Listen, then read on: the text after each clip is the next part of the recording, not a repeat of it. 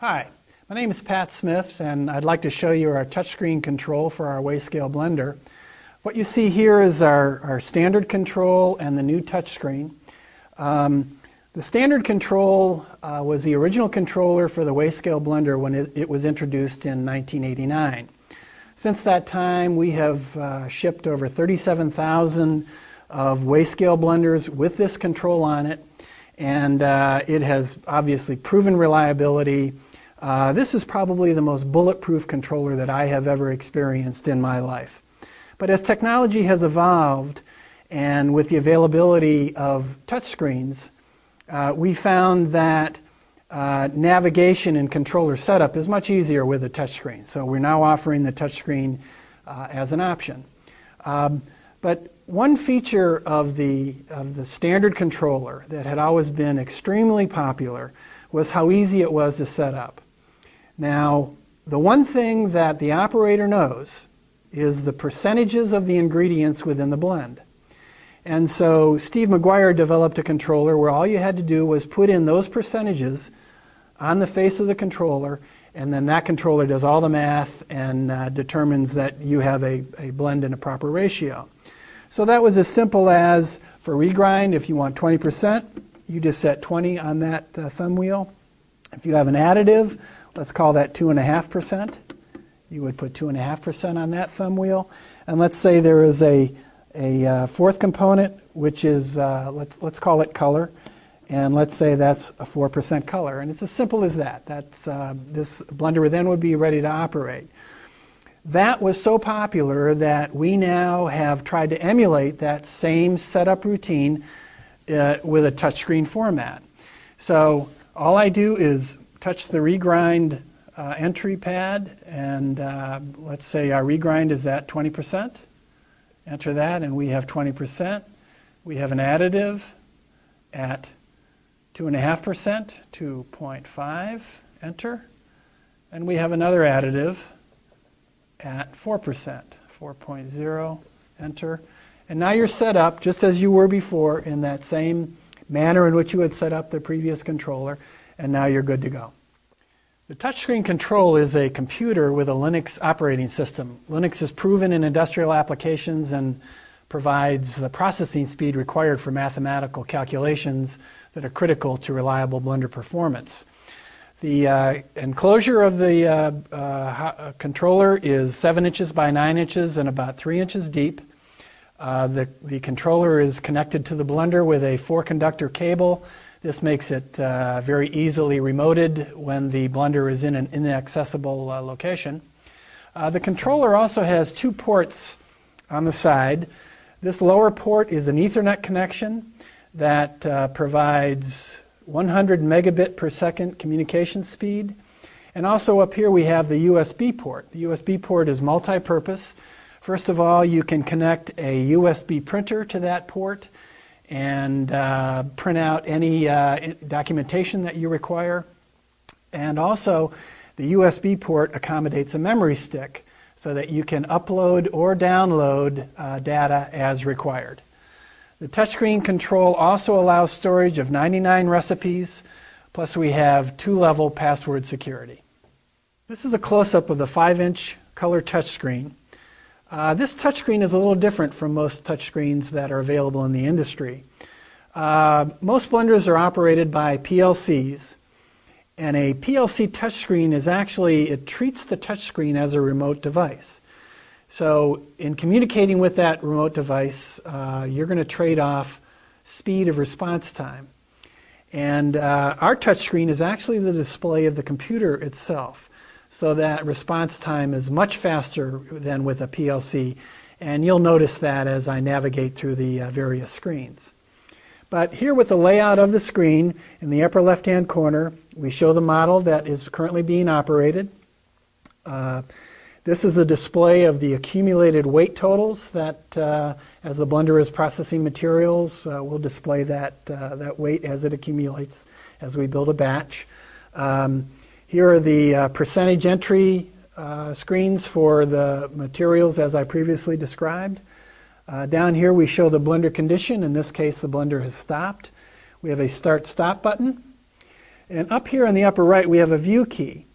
Uh, I'll press that view key, and up comes uh, totals of material processed by the blender. This is a very handy screen if you want to track actual material consumption. Uh, you can use this screen and uh, create uh, material usage reports uh, for, any, for whatever period of time that you require. Whether it's every shift, every day, every week, every month, you can go into the screen, document the materials that have been uh, processed by the blender, and then once you've done that, you hit the clear button. That clears all totals and begins to accumulate that again, and then you can access the, this screen at a later date to uh, retrieve those totals. And finally, in the upper right-hand corner, we have the options key. That allows you access to the internal parameters of the blender. But really, setting of these percentages is really all you have to know to operate the blender. But in fact, um, there are many special capabilities that have been developed, and the touchscreen control makes it easy and intuitive to access these functions. I'm going to go into the program mode by entering the password. In this case, our password is five twos. Hit enter. The next screen offers you five intuitive selections for setting of the blender.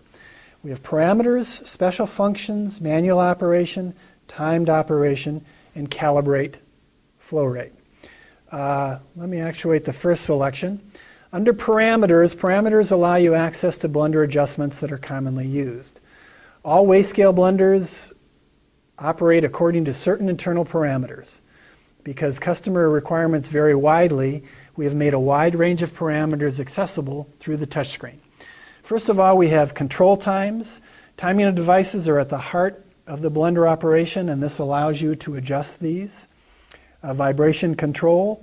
Vibration is the biggest enemy of accuracy for any gravimetric blender, and by actuating this key, it allows you to go in and eliminate the effects, the effects of vibration depending on your situation. This key is called weight limits. Uh, if you are running materials that are unusually low or high in density, this allows you to adjust for that. Um, up here we have the components key. Uh, dispense device operation uh, can be adjusted for each component.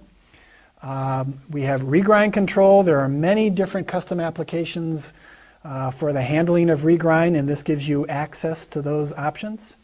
And finally, we have mixer control. This allows you to control the mixer to optimize the blend that you're, you are getting uh, from the blender itself. I will go back to my menu screen, and now I will, I will actuate special functions. Here we have seven keys that give you access uh, to different uh, modes of operation. First of all, you have setup. Setup allows you to specifically set the blender, uh, if it's a conventional blender or if it's a totalizer or a dispenser or if you're using extrusion control, this allows you to set up that, uh, that capability. We have diagnostics key. If their troubleshooting uh, uh, requires some diagnostics, this allows you to, to generate some information that we can help you with as far as troubleshooting any problems you may have. Uh, here's a print options key. Uh, for any of your documentation requirements, you can access your printer options here. This is our TCP IP configuration key. This allows you to set up any data network over the Ethernet network that we have uh, supplied. Uh, up here we have operating options. Uh, these options help you deal with extreme conditions such as inconsistent flowing materials or situations that call for extraordinary accuracy of critical components.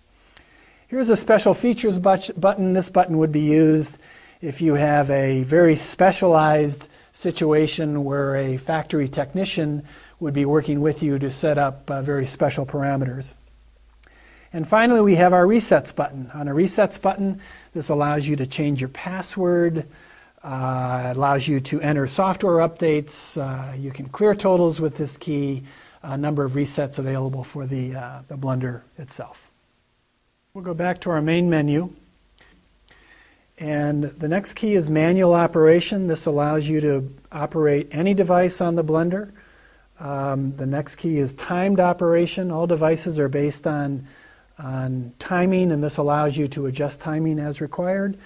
Finally, we have calibrate flow rate. Uh, when changing materials, this allows you to calibrate the flow rate of the new material so the blender can be dead on from its very first batch. And there you have the touchscreen controller. There are hundreds of custom programs that are available in software, and the Maguire touchscreen controller provides you with intuitive access and easy navigation so that you can get the most out of your blender with minimal effort. And finally, this touchscreen is backed by a five-year warranty. You'll find competitive units uh, are limited to a two-year warranty, but this touchscreen, like all of Maguire equipment, is backed by our industry-leading five-year warranty. Thanks for watching.